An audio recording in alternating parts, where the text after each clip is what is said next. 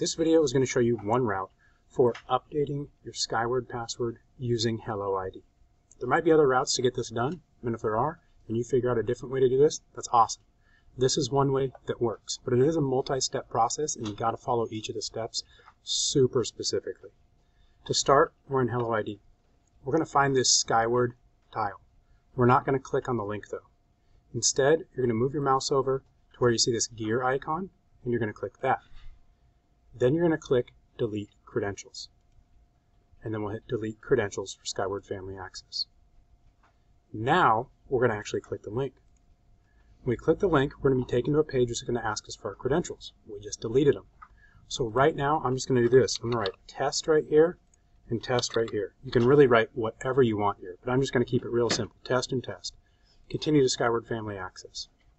When I click that, if my browser asks me to save that, I don't want to save that password. That's not my real password. So I'm going to close that. And it's going to give you an error saying they're unable to validate the information. You're going to click OK. Now you're going to be at the Skyward page with this login ID and password that don't work. You need to click Forgot Your Login slash password. You're going to click that, and then you're going to enter your email. For students, this is first.last at studentssd.org. So first dot last, just like how you'd log into a computer, and then the at sign student SSD, like Snohomish School District, dot .org. Then you hit submit.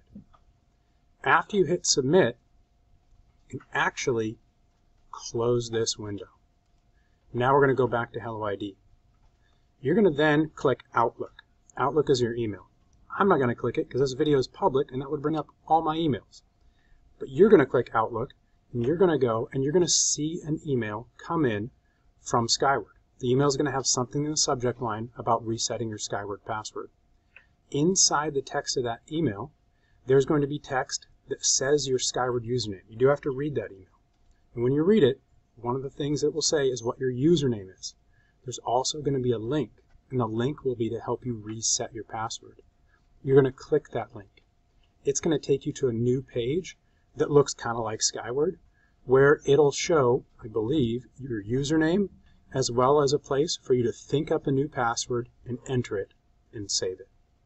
When you click that and you're done, you're set. So now what you got to do is remember that password you made, and then you can reference the email that's in Outlook for your username.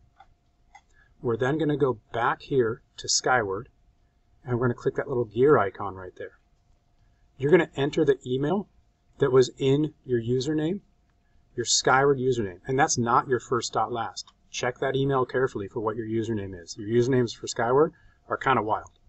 So you're going to enter that username for Skyward as well as that new password that you just made and then hit save. And if all of that works right, every single time you click into Skyward Family Access from Hello ID, it's just going to automatically input your password and shoot you straight through into Skyward if you follow all these steps. If at any point it doesn't work and you need to repeat the process, you can also always do delete credentials, delete, and just repeat this process, remembering to, so I'll do it again, test, test, go here, don't save it, get denied, and then this is the key. If you ever lose your password, forgot your login password, then using that email to reset it. And then saving those credentials to Hello ID using the little gear icon on the Skyward tile.